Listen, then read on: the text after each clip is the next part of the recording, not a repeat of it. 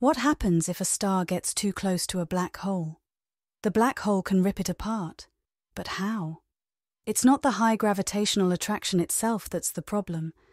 It's the difference in gravitational pull across the star that creates the destruction. In the featured animated video illustrating this disintegration, you first see a star approaching the black hole. Increasing in orbital speed, the star's outer atmosphere is ripped away during closest approach. Much of the star's atmosphere disperses into deep space, but some continues to orbit the black hole and forms an accretion disk. The animation then takes you into the accretion disk while looking toward the black hole. Including the strange visual effects of gravitational lensing, you can even see the far side of the disk.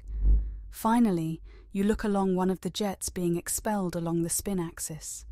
Theoretical models indicate that these jets not only expel energetic gas, but also create energetic neutrinos, one of which may have been seen recently on Earth.